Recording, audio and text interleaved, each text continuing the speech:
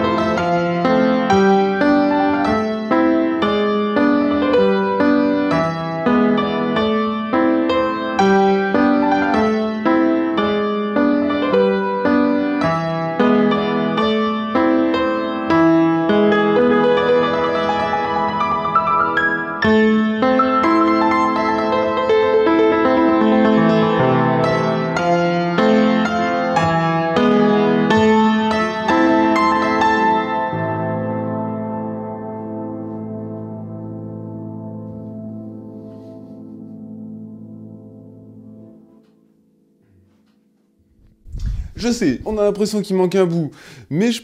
Peut-être pas. Moi, j'aime bien quand même cette fin. Il aurait peut-être fallu reprendre un petit bout du thème du début, je sais pas.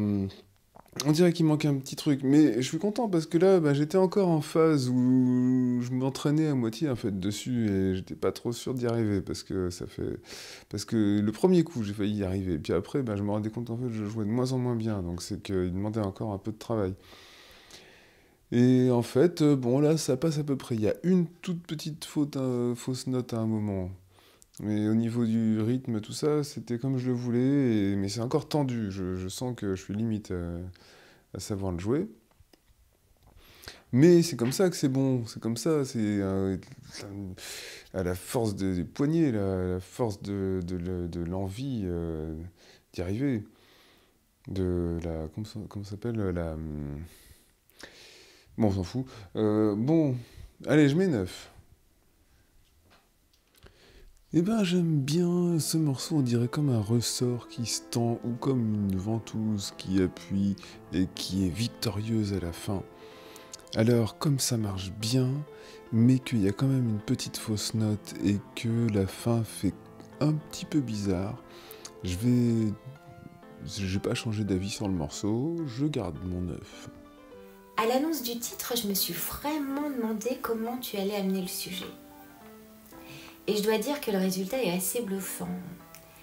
Tu as trouvé la, bonne approche pour nous mettre en situation et, j'ai visualisé la scène de bout en bout, jusqu'à la fin. Alors c'est vrai, elle est un peu brutale, mais en même temps, c'est un peu ce qui se passe lorsque la ventouse a fait son office. Alors pour moi, la mission est réussie, je vais mettre 10.